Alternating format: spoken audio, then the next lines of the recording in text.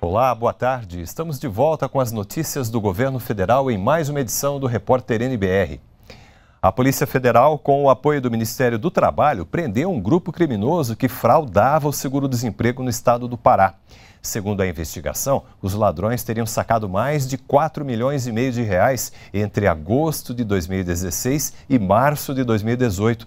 Dois servidores já foram afastados.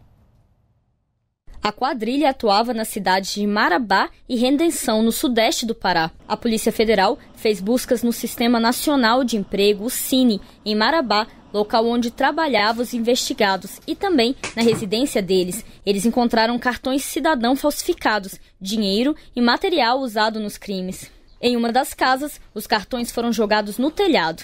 Os servidores do Cine eram convencidos a passar nomes e senhas, com esses dados, a quadrilha entrava no sistema, realizava demissões e sacava o seguro-desemprego. Toda a fraude era feita de forma eletrônica. Segundo a Polícia Federal, os investigados criavam números de PIS falsos e também falsificavam cartões cidadão. Com isso, faziam saques, em algumas vezes em várias cidades do país, como São Luís, no Maranhão, Belém, no Pará e também São Paulo. A fraude foi denunciada pelos próprios trabalhadores, que, quando eram demitidos, não conseguiam sacar o benefício que já tinha sido retirado. Foi registrado um prejuízo de mais de 4 milhões e meio de reais. Segundo o Ministério do Trabalho, os golpes foram detectados depois da implantação de um sistema antifraude. Desde que foi instalado em dezembro de 2016, o sistema bloqueou mais de 60 mil requerimentos. O trabalho investigativo ele é da Polícia Federal. O nosso é, e o que nós estamos procurando fazer no Ministério do Trabalho é dar subsídios para a Polícia Federal e também bloquear esses requerimentos com possível é, suspeita de fraude para que, pra que o, o trabalhador não, não perca esse dinheiro para os fraudadores. Isso é um importante sinal exterior que nós estamos dando para a sociedade e, sobretudo, para essas pessoas que permanecem insistindo é, nessa modalidade de crime, de que nós estamos atentos, em parceria com a Polícia Federal, monitorando todas as operações de seguro-desemprego que são feitas no país em tempo real e identificando essas mutações na, no modus operandi é, desses criminosos maior evento do mercado imobiliário brasileiro, o Feirão Caixa da Casa Própria, movimentou mais de 4 bilhões de reais no primeiro final de semana do evento. Mais de 60 mil pessoas passaram pelos estandes nas cidades de São Paulo, Porto Alegre e Salvador. E mais de 20 mil contratos foram encaminhados para fechamento. O Feirão da Caixa será retomado em 18 de maio nas cidades de Belo Horizonte, Rio de Janeiro, Uberlândia, Goiânia e São Luís. Os detalhes sobre o feirão da Casa Própria estão disponíveis na página do banco na internet. Só no primeiro dia, o Enem registrou mais de 1 milhão e 300 mil inscrições. O prazo vai até 18 de maio e a expectativa do Ministério da Educação é que 7 milhões e 500 mil candidatos participem do Enem este ano. Um sonho que nasceu em um momento difícil. Há dois anos, a mãe de Lara foi diagnosticada com um tumor no cérebro. Foram meses de tratamento no hospital, o que despertou na jovem a vontade de ser médica. Ela ficou no hospital de base e é um hospital público. E aí eu sempre via pessoas bem humildes e os médicos cuidando muito bem deles e eu fiquei encantada. Então, eu, meu sonho é fazer medicina, ainda mais trabalhar no hospital público. Para que este sonho se realize, ela chega a estudar até 14 horas por dia, rotina de estudos que também faz parte da vida de Felipe. Assim como Lara, ele quer entrar na faculdade de medicina. É um dos cursos mais concorridos e você precisa se esforçar, precisa é, você concorre em mais alto nível do que a maioria dos outros cursos. Então você precisa de uma de um tempo, de um esforço um pouco maior. E essa dedicação toda tem motivo. O Enem, as inscrições para o Exame Nacional do Ensino Médio vão até o dia 18 de maio e os estudantes já se preparam para garantir uma vaga na universidade.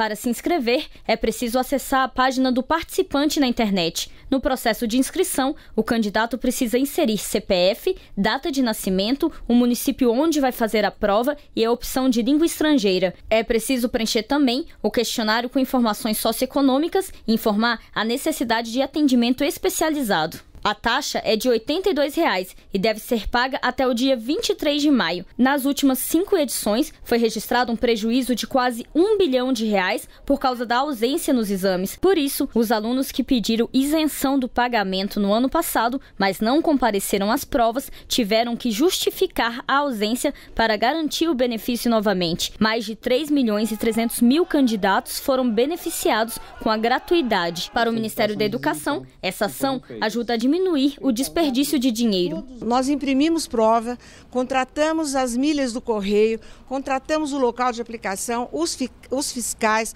a, a operação reversa, os corretores, enfim, há todo um empenho para que tudo ocorra bem. Isso é gasto público. O que nós queremos é zelar por esse gasto, mas volto a repetir: não há intenção de fazer economia. O que nós queremos é que o gasto seja justo e devidamente monitorado. Quem pediu a isenção de taxa também precisa fazer a inscrição, mas o processo é simplificado. Para evitar fraude, a segurança também será reforçada. Já estivemos com a direção da Polícia Federal é, para que eles nos ajudem, contribuem constantemente, sempre com aspectos de melhoria, desde a descrição, inclusive de, de equipamentos, por exemplo, para de, detecção de ponto eletrônico, é, que vai ser aprimorado, a colocação e qual a descrição do bom equipamento para detectores de metais e assim por diante, entre outros processos, que vai desde o acompanhamento é, de transporte, logística, da gráfica, a Polícia Federal acompanha todas as etapas é, com o Ministério, com o INEP. As provas do Enem vão ser nos dias 4 e 11 de novembro. Este ano, os candidatos terão mais tempo para fazer a prova de matemática, ciências da natureza e suas tecnologias. Em vez de 4 horas e meia, serão 5 horas. E olha só, para ajudar os participantes a se inscreverem no Enem, o INEP preparou tutoriais em português e em língua brasileira de sinais. A partir do CPF, o próprio sistema direciona para a forma completa ou simplificada, dependendo se o participante pediu ou não a isenção da taxa. Lembrando que as inscrições no Enem são feitas exclusivamente pela internet e vão até 18 de maio. O Arquivo Nacional vai realizar até o dia 12 de maio uma exposição para marcar os 130 anos da abolição da escravatura no Brasil. Estão sendo expostos na sede do Arquivo Nacional, no Rio de Janeiro, os documentos originais da Lei Áurea e da Lei do Ventre Livre, com itens do acervo do período da escravidão. Os documentos podem ser vistos também nas redes sociais. O evento faz parte do calendário de comemoração dos 180 anos do Arquivo Nacional. Estão previstas uma série de shows de grupos afro-brasileiros e uma mostra de cinema em homenagem a Nelson Pereira dos Santos, cujos originais dos filmes estão guardados no Arquivo Nacional. Entre os eventos, também um seminário sobre o período após a abolição. O ministro das Relações Exteriores, Aloysio Nunes Ferreira, está em visita oficial a Singapura. Durante a visita, o ministro foi recebido pelo primeiro-ministro do país, Lee Hsien Long, e entregou ao chefe de governo singapurense uma carta do presidente Michel Temer com o convite para uma visita ao Brasil. Os ministros falaram da crescente cooperação em comércio e investimento entre os dois países. Em 2017, o comércio de bens totalizou 3 bilhões e 400 milhões de dólares, fazendo do Brasil o terceiro maior parceiro comercial de Singapura na América Latina.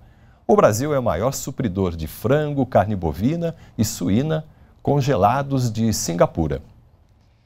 E nós ficamos por aqui. Você pode rever as reportagens no YouTube e toda a nossa programação também está na página da NBR na internet.